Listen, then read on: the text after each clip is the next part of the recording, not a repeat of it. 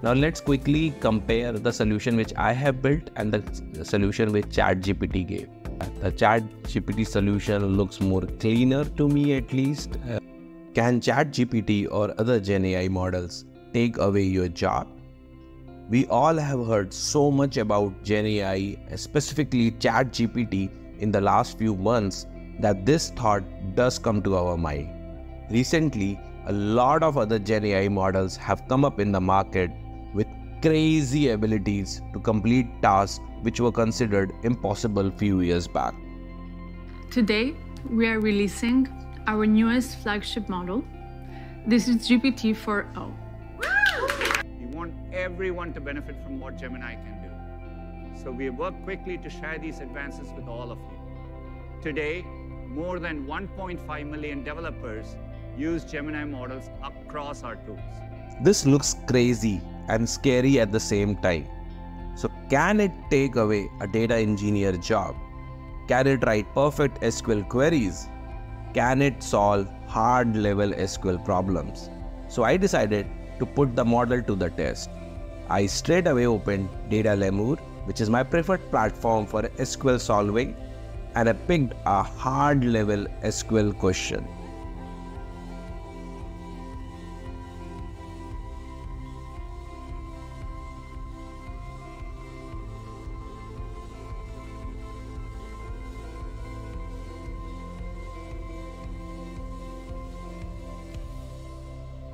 I copied the problem statement and gave it to ChatGPT.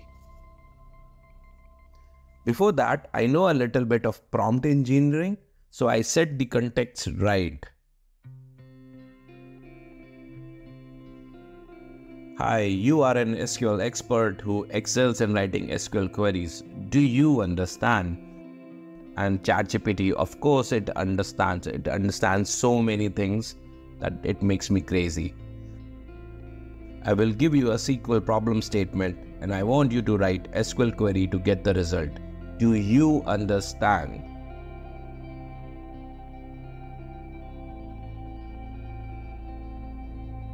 And of course it understands.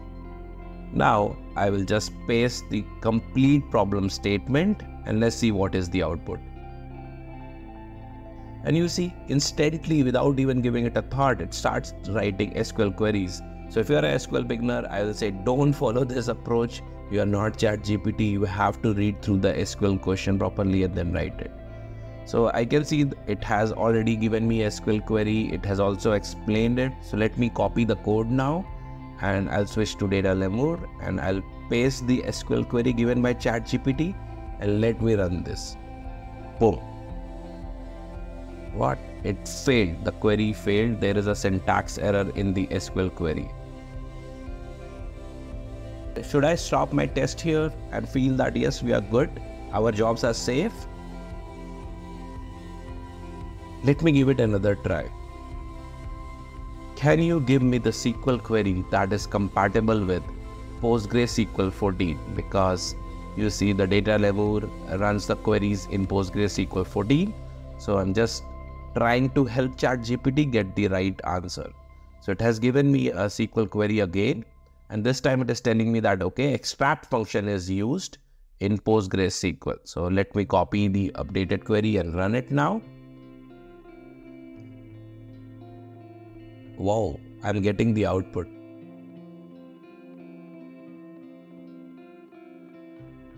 So let me submit the solution and see if this is the right answer or not.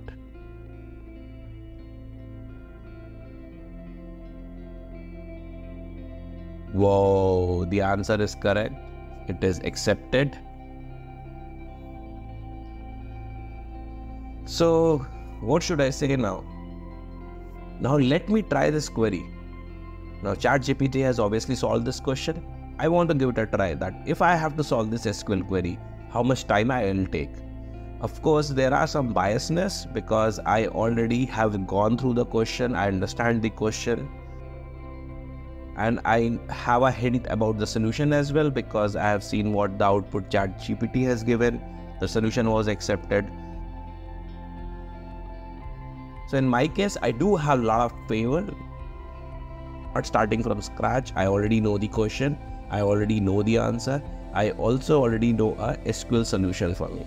But here I'm not going to repeat what ChatGPT has already given me.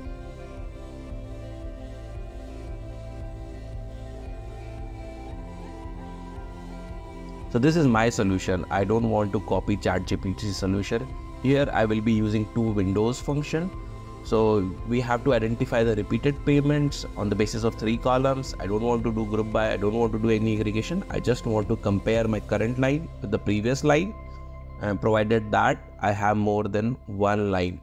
When I say one line, I mean group of merchant ID, credit card ID and amount. So if there are multiple transactions with same value for these three columns, I want it to be a part of the same group. Hence, I'm using Windows function. If you know SQL pattern system, I've already explained you that uh, you can use window functions to compare the previous line with the current line. So this is exactly what I'm doing here. I'm generating a previous timestamp and I'll compare my previous timestamp to the current timestamp. Uh, so I'll compare the previous timestamp with the current transaction timestamp to see if that transaction happens within 10 minutes. So I'll make everything as a CT and then I'll just apply the filter conditions where I'll subtract the two timestamp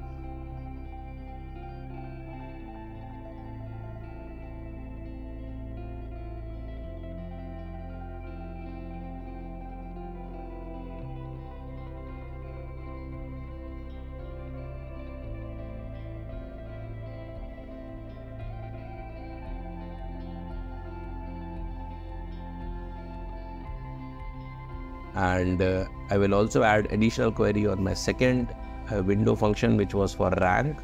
Because at the end of the question it was mentioned that you should not you should not consider the row if it is the very first row. Only the second row should be considered as a duplicate and should be reported.